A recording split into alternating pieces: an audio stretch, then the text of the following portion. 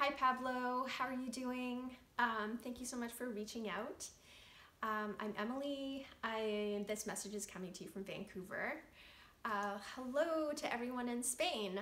Um, I have no idea what life is like there now. It's been pretty crazy here with COVID and everything.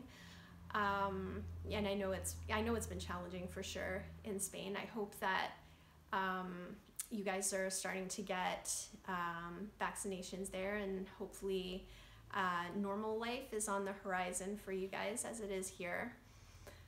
Um, yeah, thank you so much for being a fan. Um, it's meant a lot to me that people have sort of reached out to me during this particular period because I've been going through like a lot of life changes. It's been pretty stressful. Um, I just moved house and um, so I'm in my new house now, just kind of settling in, and I have a new job, um, kind of settling into that.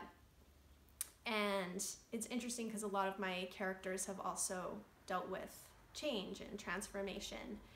And I hope that, like, well, I think for me, reflecting on that a little bit, it's kind of helped see me through periods of change in my life.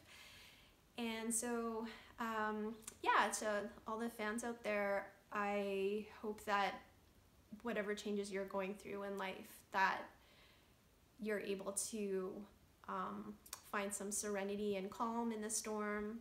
And yeah, I wish you courage to to see your life through on whatever path you're on. Thanks so much for reaching out, Pablo.